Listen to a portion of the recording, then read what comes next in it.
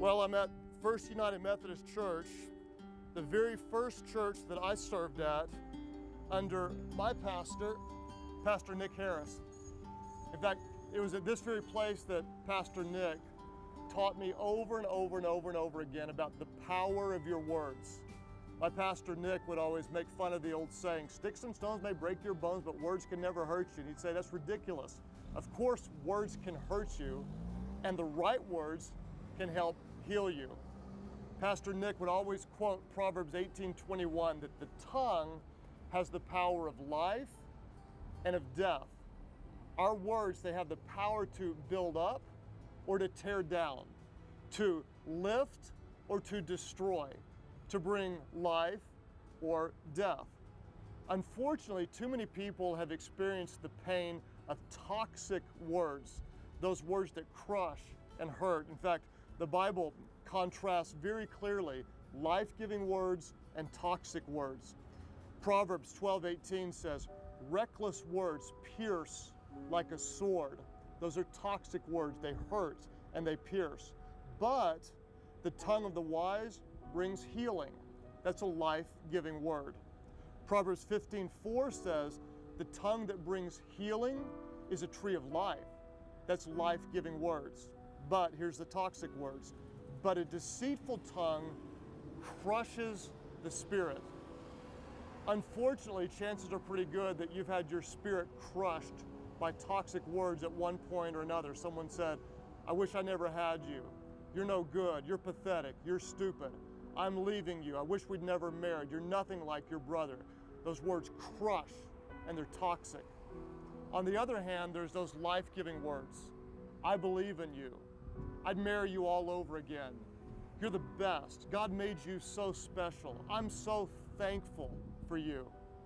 It was at this very place that I learned from my pastor the power of your words. When so many others would speak toxic words, my pastor spoke life giving words. To a young guy, he said over and over and over again, Craig, I believe in you. I'm so thankful for his life giving words.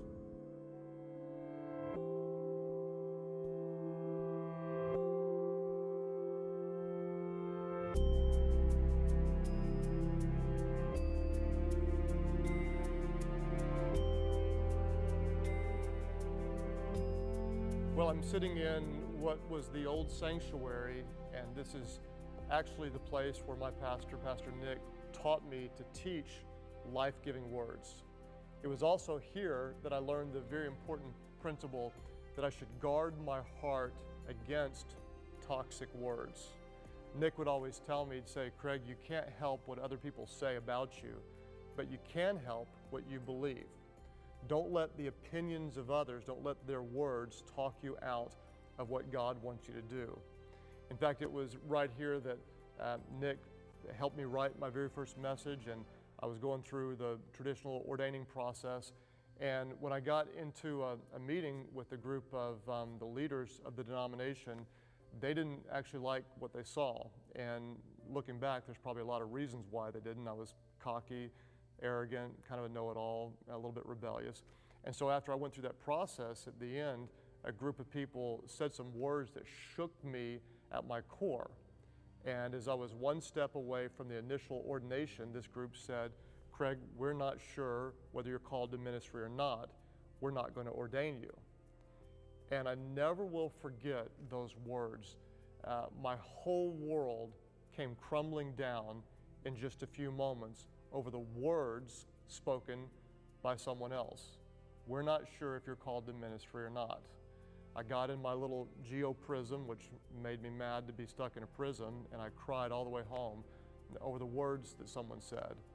And the next day I came back to this place and I walked into Pastor Nick's office, which was just over to my side, and I broke down, I cried uh, my brains out. And I never will forget when Nick looked at me and he said, Craig, back when I was going through the process, they said the same thing to me. Nick looked at me and he said, Craig, I want you to know I believe in you. I believe you're called. And even more than me, I want you to know God believes in you.